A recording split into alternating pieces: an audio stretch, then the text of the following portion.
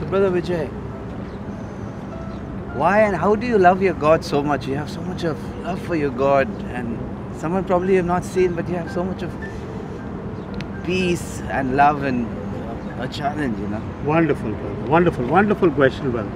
Brother, I was one person who, at the age of 16, 17, 18, when I was in India, I used to literally go to every place a temple, a gurudwara, a mosque, wherever, wherever. Why I used to go is because my friends were either Muslims or Hindus or Sikhs, and I used to go to every place not because I wanted to go and worship, but I was going to please my friends. Because if I went there with them, and then they did exactly what uh, you know, they bowed down, so I bowed down. They moved around, they, I did this, and it, it was absolutely to please my friends. But you know, one day, Bishop Valerian and a group came down to Kolhapur to give us a retreat. And when they came, there were two people whom I know right from my childhood. There were one was Mr. George Kalur, one was Mr. Alfred. Two of them came and they said, "There's a retreat happening, and you better come and join the retreat." Now, I knew these are holy Joes, so I wanted to make fun of them. Number one, okay. Number two, those young days, lot of pretty girls around would be Absolutely, gathering together. So that was another attraction, and I said, "Let's go." This charismatic retreat is taking place. We'll have some good fun. Three days retreat, okay? Now, as the retreat went on, we were having our fun. We were pulling their legs. George Kalur and uh, Alfred, we said, look, look at this Jack and look at that Joe. Holy Both the holy Joes and oh my God. Okay? But they say in English, one who laughs the, la- laughs the best, no? It. We had two days of retreat and we are hearing people who are drug addicts giving their testimonies, people who are alcoholics who have turned their lives, given their life to Jesus, and we are watching. The third day, they said we are having in the afternoon the praying over of people. And said praying over the people, okay. So they said one by one they were taking us to different different rooms. Now, I said I'm going to see how good fun. Let them pray over. Nothing is going to happen over me, right? So the guy came and he said, "Oh, brother, what are you doing at the moment?" I said, "No, I'm just trying to join my father's business." Okay. Uh, how's your life and all? I said, "I'm freaking out, man. I'm enjoying my life. I have no problem." He said, "Do you have any problem?"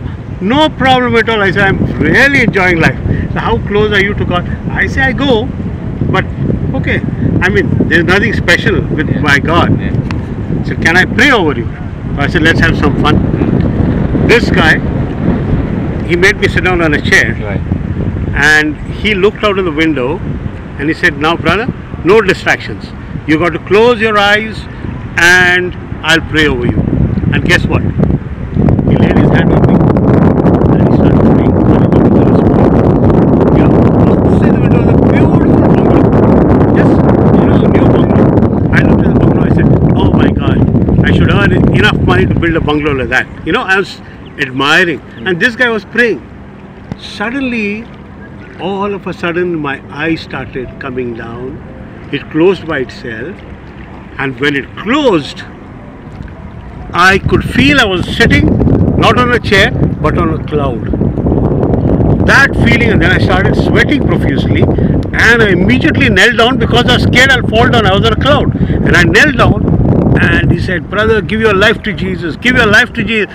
I said, "Yes, Jesus, if you're there, and if you're the real God, come into me just now. Come at this moment." And suddenly, I found that peace coming in. I found that glory of God coming on me, and I finished off. After he finished his prayer, I said, "Brother, how do you feel?"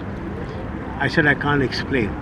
I went back to the main hall where the retreat was taking place, where all my friends were sitting. The moment they saw me, they started waving out, and the guys had good fun.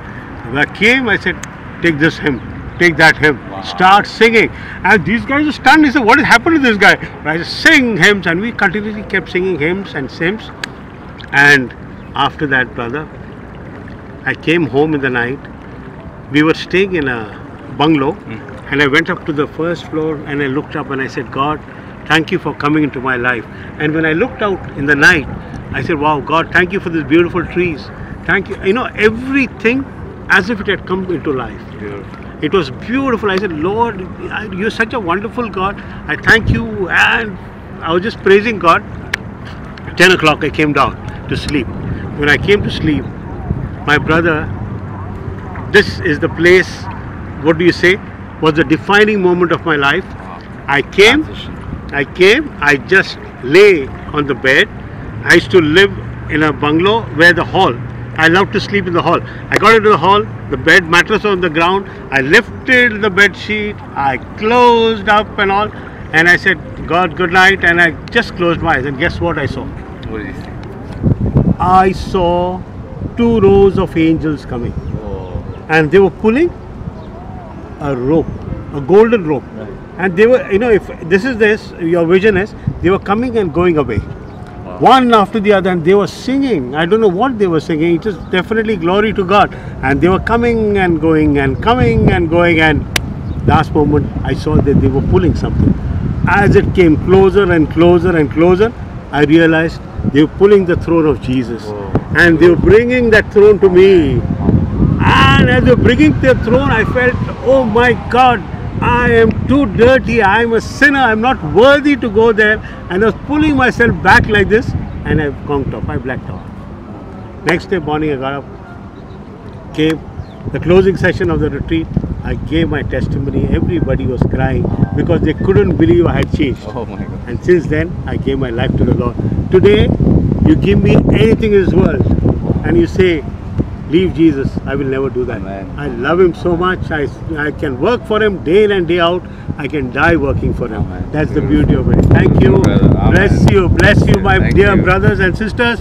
love your God with all your heart, with all your mind, with all your strength, and you will see how God works in your life.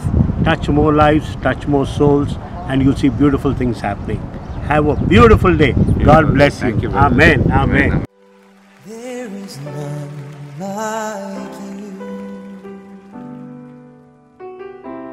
No one else can touch my heart like you do. I could search for all eternity long and find there is none like you.